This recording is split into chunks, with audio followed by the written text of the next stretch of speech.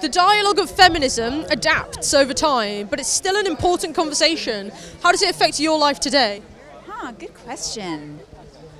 Um, well, I grew up in a family of three brothers, so um, I lived what it feels like to fight for respect in my own family, um, and especially in sports. It's funny, like this film, it just became the arena to fight for respect because sometimes you would be thought of as a good athlete for a girl, but not just a good athlete. And just that little bit of, you know, putting down somebody because they're a certain gender just is hurtful. So I definitely have a very sensitive soul to this whole issue.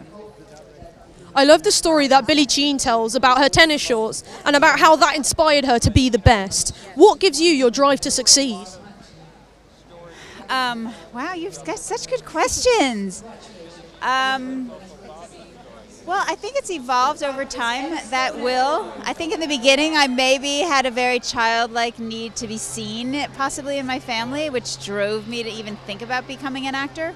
And then I think as time has gone on, I've become much more interested in the human contact that you have with the people you work with and the the richness of humanity that you're able to express and experience with people and I just find that the most interesting part of life so I feel blessed that I get to live in an arena where that's what it's all about. Not everyone plays in live sporting tournaments, but they still experience intense pressure in their day. How do you deal with pressure? Not very well. I came to the event and my, my dress wasn't even zipped up properly and I, I don't deal with this whole thing very well at all.